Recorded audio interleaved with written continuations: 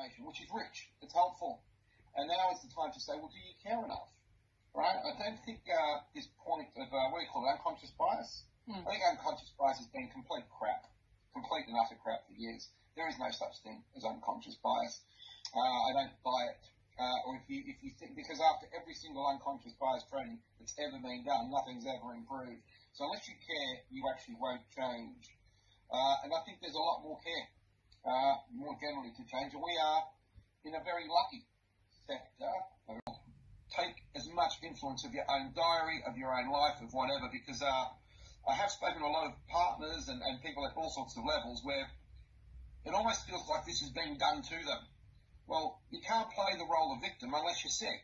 And I hope you're not sick and you're not ill. And if you're not, take control of your life. Don't uh, don't sit there and moan about it. Quite frankly.